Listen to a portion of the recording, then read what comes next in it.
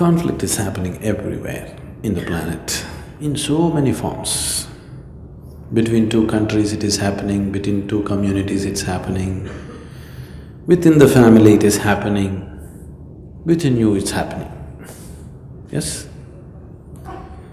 But it is only because there is conflict within you, there is a possibility of conflict outside of you, isn't it?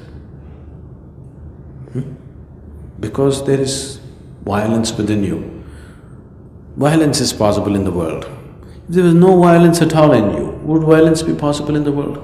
No. So we just have to look at the conflict within. If we just settle this, outside conflict will slowly settle. It'll take some time because we have put a certain momentum to it. But it has to settle, isn't it? If all of us become truly peaceful human beings, no conflict within us, would Bombay be peaceful? Hmm? Do we have to separately start a campaign for peaceful Bombay? No. If people were peaceful, society would be peaceful, isn't it? So what is the conflict? The conflict is just this, you got identified with things that you are not.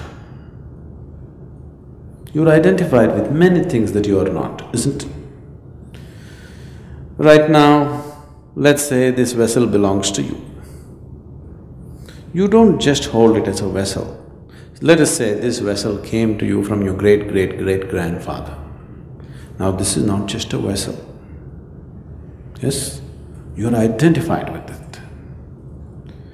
If I just grab this vessel and go away, you're willing to die to get this vessel, isn't it so? Because you're so identified with this vessel now, if I just break this vessel, your heart will break.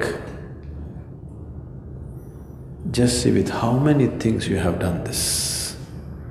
From the clothes that you wear, to the people who live with you, the house that you live in, the things that you own and possess, everything has become you, isn't it? Yes? So what is you is not here, what is you is spread all over the place. When you are spread all over the place, naturally, wherever you move, it get entangled, it gets entangled somewhere. Yes? When what is you is so spread out, whichever way you go, every doorway you will get stuck. That's what is happening. That's why there's constant friction and conflict because you're identified with so many things that you are not.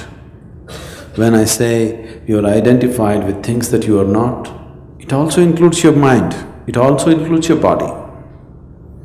Your thoughts are not yours, please see. Your emotions are not yours, please see. These are all things that you picked up from outside and identified yourself with. Isn't it so? Yes? Your body is not yours, it is something that you picked up from outside. If you sit here and you're not identified with anything, you are simply yourself. You are not identifying yourself with anything or you're not getting into your make-believe situation of being something that you're not.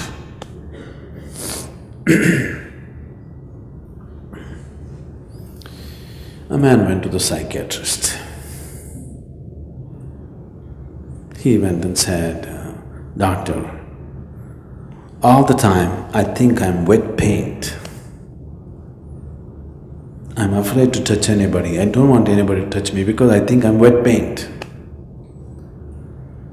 Then the doctor said, That's no problem, I will treat you. Six months, the doctor gave him very expensive treatment. Then slowly the patient felt better. And then he one day came and said, Doctor, I'm just feeling fine. I don't feel like that anymore. Thank you very much. He paid his bill and he wanted to shake his hands.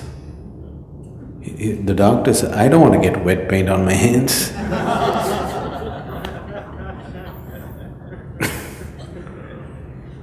Once you're identified with things that you're not, you're hallucinatory in nature, isn't it? And all the conflict is coming simply because you're not in touch with reality.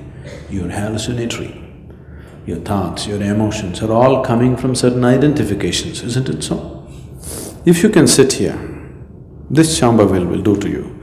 If you sit here, you will see your body is here, your mind seems to be somewhere out there and you are somewhere else. That means you've gotten disidentified with everything. You're just there. Once you're not identified with the body, once you're not identified with the mind, can there be conflict? Hmm?